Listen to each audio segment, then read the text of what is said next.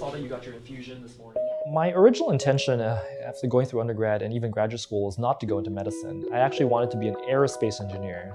That's because I love the sciences and I really love the creative aspects of problem solving. I eventually went down the track of going into molecular biology and biochemistry.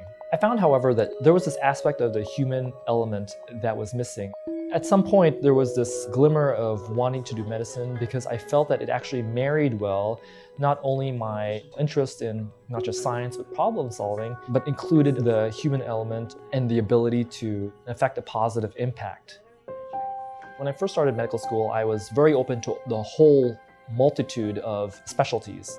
I eventually went into internal medicine, and the great thing about internal medicine is you are required to have a very strong foundation in many organs and to be able to understand the interrelationships.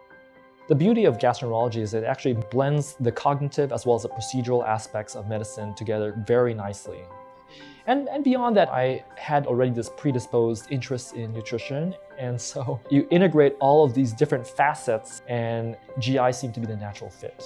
You're the one who did all the work. I try to empathize with the patient for their situation. It also then allows me to boost their morale and serve as an advocate for them throughout these challenging times.